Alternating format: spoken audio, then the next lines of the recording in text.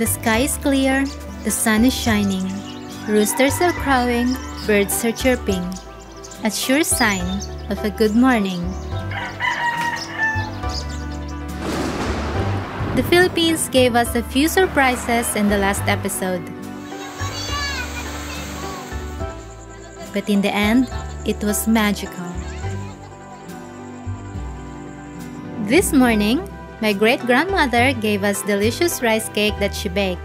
It's called nilatikan or latik in Pangasinan. It is a type of rice cake with a caramel sauce made with coconut cream and molasses. The sticky rice is cooked with coconut cream and sugar and a dash of salt in a thick iron pan, usually over a wood fire. Caramel sauce is then added and baked on banana leaves in a primitive oven. Top and bottom are charcoal fired. It takes a lot of patience to make this incredible and delicious rice cake. Очень вкусная. Оказывается, здесь всего несколько людей знают, как это готовить. After breakfast, Borya decided to make a kite out of leftover bamboo. It would be fun for the children, Especially for the boys. В местном магазине купили леску, клей, э, такие нитки и э, пластиковые пакеты. Еще и скотч.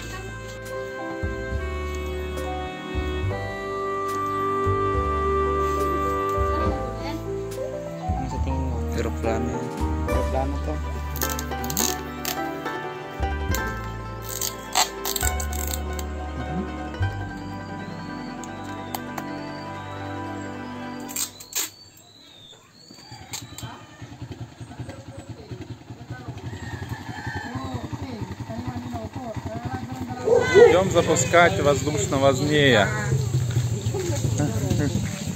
Собрались уже тут несколько детей с нами. The next day, they went looking for a place to fly a kite. A narrow road leads to a small community called Sitio Logolog. Besides the beautiful greenery, it has a very peaceful and quiet atmosphere. Filipino cows are basking in the sun and living their best lives. They found a good spot and an empty rice field and started to prepare their kite for its first flight.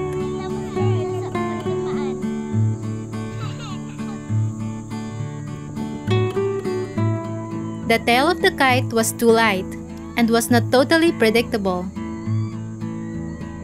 Borya decided to fix it in the field with some materials that were at hand. Not far away, there was a small river. On its banks grows a lot of nipa. He's going to tie some of its leaves to the tail of their kite.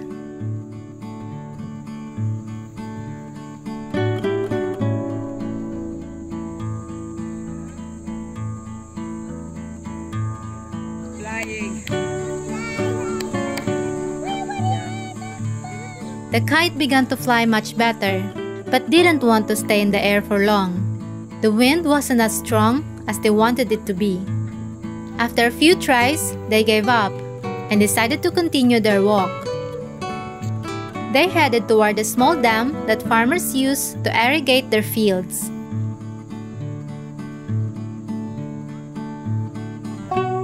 On the way, their attention was caught by this beautiful Spanish style house.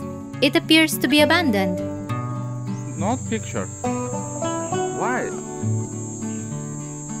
Продолжаем искать место для запуска воздушного змея, но никак не найдем. Или много деревьев, или какие-то старые дома, которые филиппинцы боятся.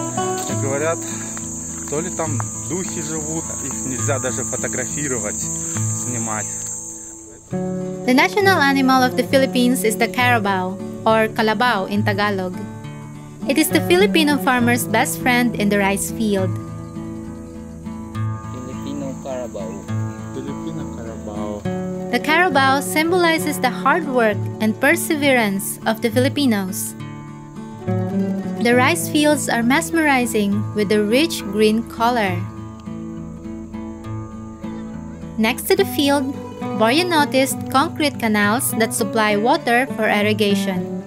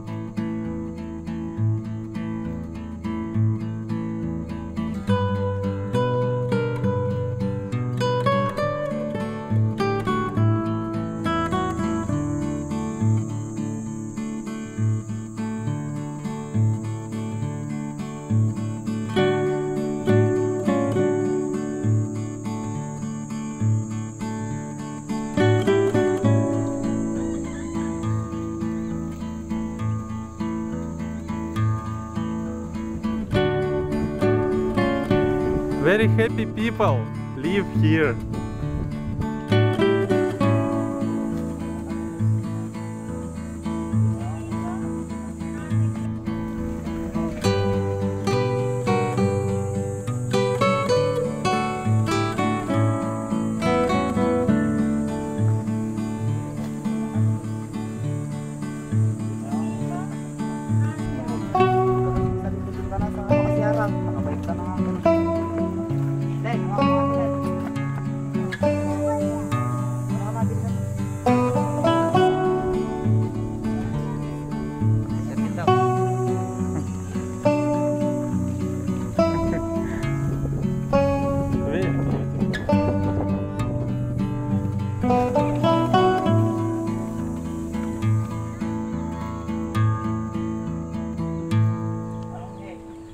Mama and Borya love the turon we had a few days ago.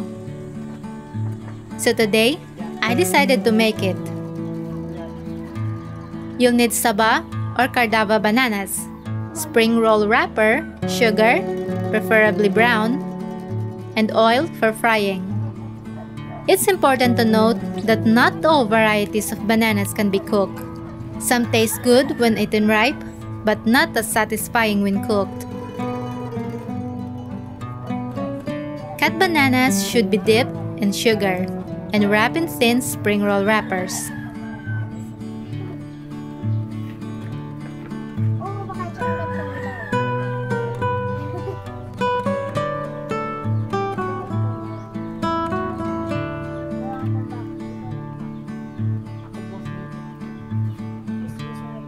Charlene helps too. She told us her story about how she used to work making turon for a neighbor and selling it on the side of the road. They paid her 20 pesos for a whole day. My mother saw her selling turon and told her to stop working there and just accompany her to her house. She feeds her and sometimes gives her money. After all the bananas are wrapped, they need to be fried until golden brown. Sakto pupunta kaming bayan bukas. Bili na lang ah.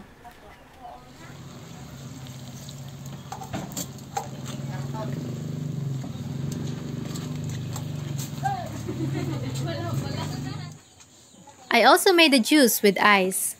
A cold drink, perfect for hot summer weather. Pa! Punta mo dun ah.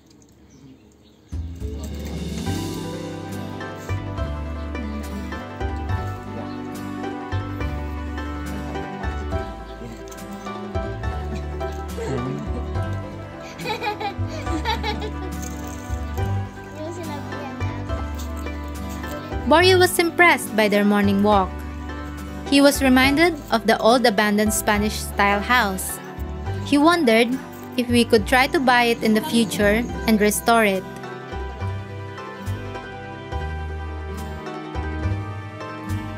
After our snack, Borya got behind the wheel of Willie's tricycle and we headed back to the old house to get a better look at it.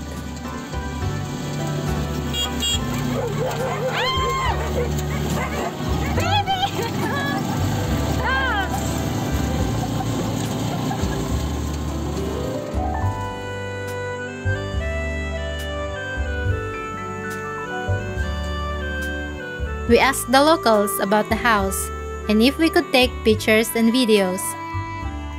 They said that this house belonged to a wealthy family, but they had moved elsewhere. From the outside, this house looks fine, but if you look closely, the wooden structures are already rotted from the inside. You can see the faint lines, a sign of one of the most destructive pests in the world termites. Termite damage is more common in the Philippines than fire and flood damage. Tropical conditions and high humidity encourage termite populations. They don't have this problem in Russia, so wooden houses can last for over a hundred years.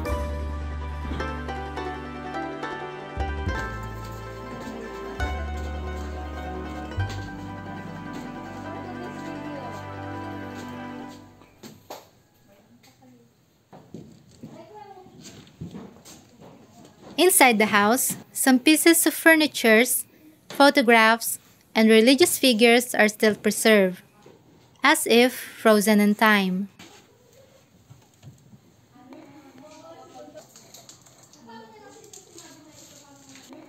Termites ate the house, and in some places, the floor can be seen up to the first floor.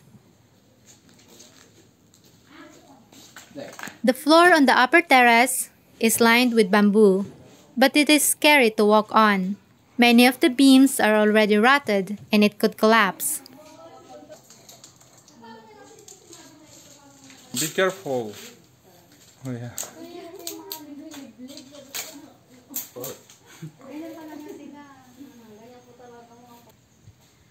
On the first floor, many of the balusters are ruined. Could it be the consequences of strong earthquakes?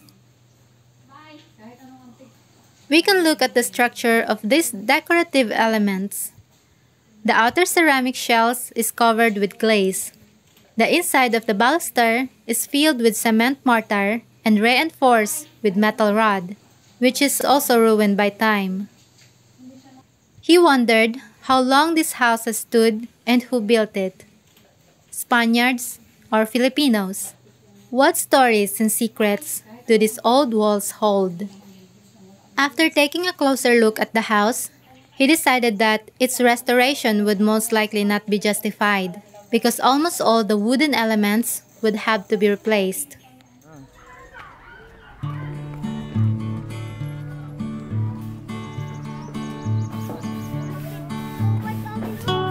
Every afternoon, the neighborhood kids gather to play outside. Milk caps, also known as pogs, is a children's game played with flat round cardboard chips. Players make a stack of these milk caps and take turns hitting them with another. Each player keeps all the face-up chips and the face-down chips are stacked anew. Repeating this process until none fall face down. The player who collects most milk caps wins the game. This game was popular in Russia in the late 90s. Watching the gambling Filipino kids, it was like he was transported back in time to 25 or 30 years ago. For dinner, we will be making pinakbet. This is a healthy Filipino dish consisting of mixed vegetables such as eggplant, ampalaya, squash, okra, and beans.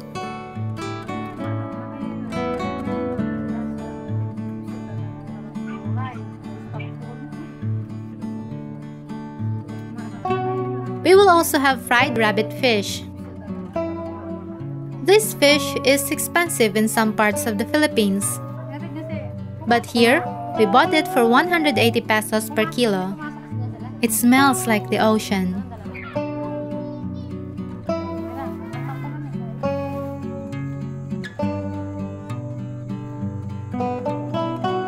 Before sunset, Disito took Boria to a place called Amira Hills.